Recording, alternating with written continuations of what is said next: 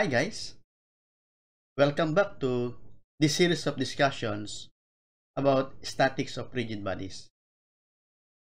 In today's discussion, we shall be having a sample problem on the application of the principle of moments. Kaya bago tayo magpatuloy guys, sana ay minsan pa inimbitahan ko kayo na subscribe itong channel ko nang sa gayon ay tuloy-tuloy tayo nagkakasama tuwing meron tayong series of discussions na katulad dito. So, puntahan natin ngayon itong ating problem, guys.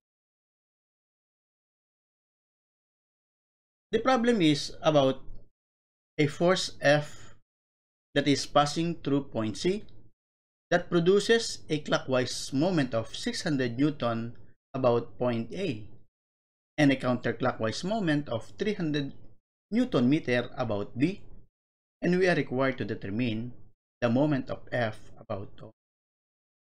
So, ang illustration ganito guys. So, gumamit na tayo ng TV para medyo malinaw na yung illustration, ano?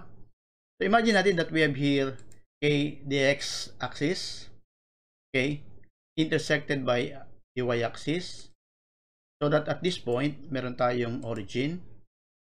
Yung point A na tinutukoy dito is somewhere here, ano? At uh, a distance of 5 meters from above okay, above O.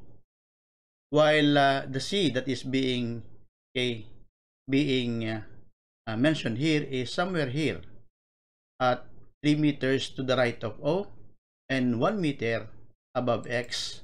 So meron tayo ditong point C. While this point B is uh, about uh, okay, 5 meters to the right at O and here is our point B. According to the problem, we have here a pass a force that passes through C and produ producing the following moment, ano? Counterclockwise moment about point B dito, while clockwise moment about point A. So guys, bago ko ituloy itong discussion, ay gusto kong tingnan nyo muna mabuti itong problem para at tingnan kung sa palagay ninyo ay how are you going to solve the problem. Okay? So, magsimula na tayo. Ang way of solving this kind of problem is, of course, uh, kinakailangan natin ma-analyze muna, no? Yung sinasabi ditong, okay, direction of force that passes through F. So, there, there are, okay, points to consider in, uh, okay, solving this problem, ano? Sabi ko nga, kaya na kailangan ma-identify natin yung mga concepts that needs to be considered in the analysis. And what are they? Una, kay maintindihan natin yung direction and magnitude of the turning effect of the force about the two given points. Okay? Tingnan natin guys. Sabi dito, the force produces a clockwise moment of 600 Newton about A. So kung i-drawing natin yan, ito yan, ano? Pero siyang clockwise moment, meron siyang magnitude. Okay? While this uh, kay other given and a counterclockwise moment of 300 Newton meter about B, so nasan siya? So ito yung B, so it is producing a clockwise moment. So ayan yung scenario, no? And the magnitude is 300 Newton meter. So after you have identified the direction and the magnitude, okay, the next thing that you should be okay, uh, knowing is the direction of the force to produce the given okay, direction of the turning effect. In the problem, it is mentioned that F passes through C. Ibig sabihin, narito yung F, ano? Kaya lamang, papaano siya ang direction niya? Kasi since there is uh, a point, so there are a lot of possibility on the direction of, uh, okay, the force that passes through C. Ayun, gusto ko tinan niyo mabuti para ma madaling masundan, no? If we are, if this force is to create a clockwise moment about A, and a counterclockwise moment about B, then we would expect that the direction of the force shall be okay, following okay, the turning effect. Nakikita nyo itong dalawang araw na ito? Okay. Itong dalawang araw ang at least magtuturo sa atin kung paano magiging direction ng uh, force. So, inaasahan natin yung direction of force somewhat directed in this direction. Ano? So, ipakita natin kung paano somewhat it is directed in this manner. Kasi this force will produce, okay, a clockwise moment and a counterclockwise moment about. But kaya kung pag-aaralan natin because there is a lot of range na kung saan ito yung posibleng direction. Ipakita natin nun, ano-ano ba yung mga pwedeng maging direction ng C. I will show it this way. Ito yung mga posibleng direction ng C. Ano?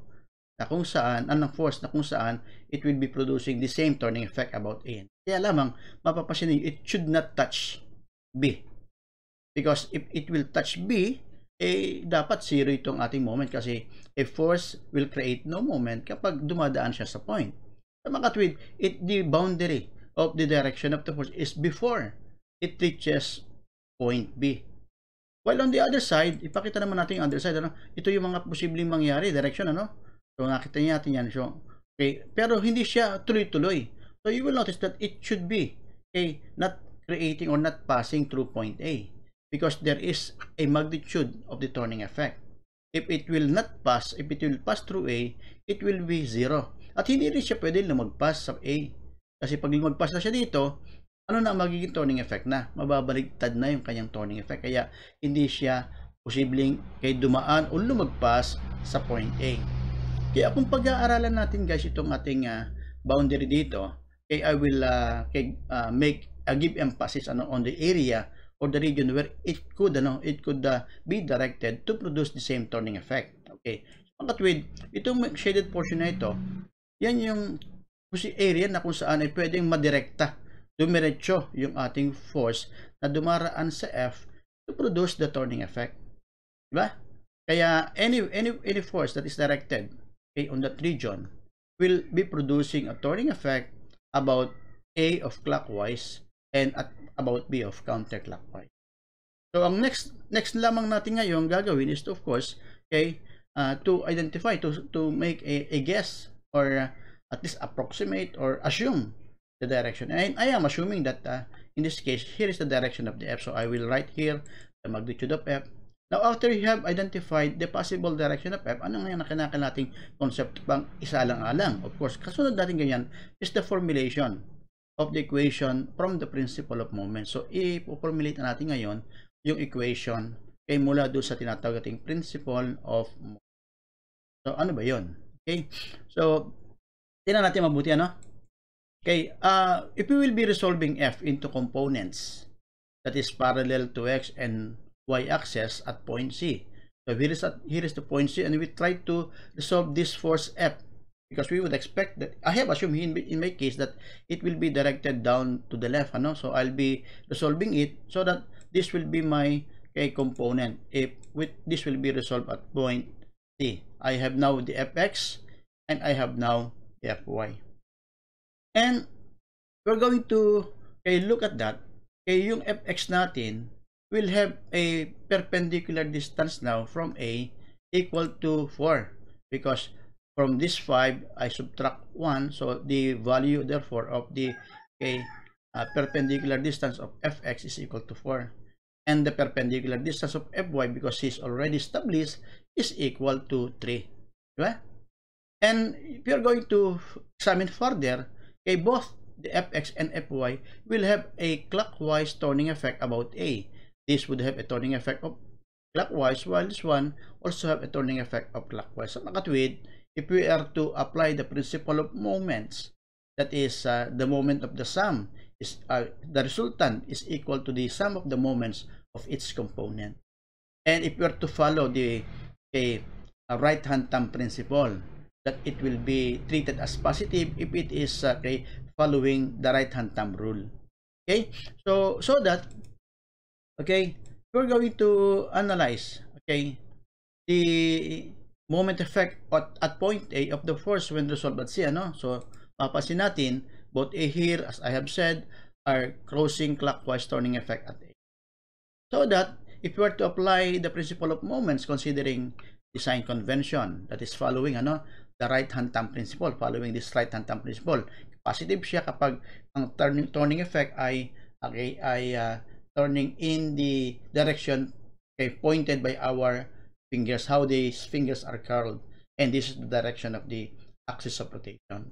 Okay, and so it will be positive kung siya ay counterclockwise if it is okay, okay on the plane.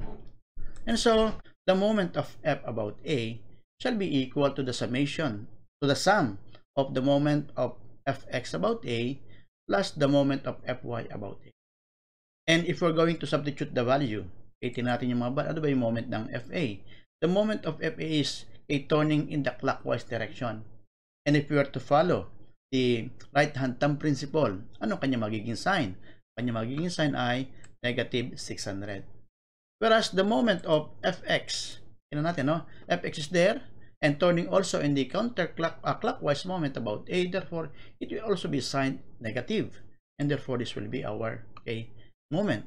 And the moment of Fy about A is there. Here is Fy, that is point A, and it will also be producing a clockwise moment. And therefore, okay, the magnitude of that moment will be okay, negative 3 Fy.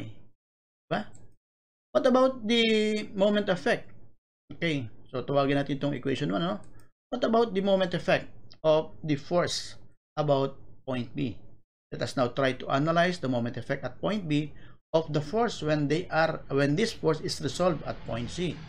Okay, so we are going to look at the a components. Okay, both Fx and Fy okay, are producing a counterclockwise effect about B. And therefore, if we are going to apply again the same principle that is positive when a directed in the counterclockwise moment, that is what we call the right hand thumb rule. Hence, the moment of f about b shall be equal to the moment of fx about b as the moment of fy about b. And again, if we will, if we will be substituting the values, what is the value of moment of fb? It is 300 in the counterclockwise direction, therefore that is positive. Diba? What about the moment effect of fx about b? fx is there, producing moment, okay, whose moment arm is equal to 1. Therefore, this will be a counter uh, counterclockwise, hence that is positive, and that is equal to f sub x. While the moment of fy about b will be equal to okay, this fy multiplied by the moment arm of 2, and that is also a positive because it is directed in the counterclockwise direction. And let us call this as our equation 2. If we will be okay, uh, writing back equation 1, which is equal to negative 600 okay 600 equals to negative 4 x 4fx minus 3fy itong negative dapat na doon ano yun ano pala ano? Okay. So what are we going to have to do? So let us try to multiply equation 2 by 4 okay if this equation will be multiplied by 4 then we shall be able to eliminate fx ano? So that this equation, this will be multiplied by 4 will become equal to 1,200. While if fx is multiplied by 4, that is 4fx. This one, if 2fy is multiplied by 4, that is like a plus 4fy. And let us call this as our new equation 2. Okay, equation 2 prime. So that adding equations 1 and 2, uh, 1 and 2 prime, to solve for fy. Okay, we will be adding this equation and that equation. So we shall have, what's the sum of this one? I have here, okay, 600. What about the sign of this one? Okay, the sum. The sum will be 0. And this one will be 5y. Now, simplifying and then solving for f sub y, f sub y is equal to 120. Now, after that, we substitute 120 in equation 2. Actually, this can be substituted in either 1, either 2, or the 2 prime. But you can select which equation is easier to substitute okay, the value of fy. And I believe it will be at equation 2 because fy, okay, all the coefficients are simple. Ano? So, substituting the value, I will have a 300 equals uh, uh, fx plus 2 times the quantity of 120 where this 120 is equal to the value of f sub y and then solving for f sub x f sub x therefore equal to now since we are to solve for the moment of that f about o then we try okay to apply also the principle of moments that is the moment of f about o shall be equal to the sum of the moments of its component about the same point. And what is the moment of f about O? Let us try to analyze. Here is our point O. Here is our fx whose moment term is 1. And here is our fy whose moment term is okay at 3. And take note that they are in the opposite direction. Ano? So, substituting the value, okay, uh, yeah, substituting the value, f sub x which is equal to okay, 60 and f sub y which is equal to 120 in the equation, then our equation becomes the moment effect of f about tau equals 60 times 1 minus 120 times 3, then simplifying, that gives us a value of negative 300 Newton meter. So, anong ibig sabihin ng 3, negative 300 Newton meter here? Kasi nga, ang, kung sinusundan natin yung tinatagating right hand thumb principle, positive siya kapag siya ay counterclockwise. And because this is negative, it means that the direction is opposite kay the positive direction. So, it is opposite of the counterclockwise and therefore, it is in the clockwise direction. Kaya meron tayo dito notation. Notation negative means that the moment created by the force about to is in the clockwise direction. Or simply, it is opposite of the a convention. What is our convention? Our convention is positive when it is counterclockwise, di ba? Kaya dahil negative siya, therefore the opposite of counterclockwise is clockwise. And therefore you have this okay, uh, answer. Okay? So, guys, sana nasundan natin itong uh, application ng uh, principle of moments. Kaya, I am uh, inviting you once again to subscribe to this channel para tuloy-tuloy nating nasusubaybayan at nasusundan itong ating series of discussion about statics of rigid bodies. Once again, thank you for watching.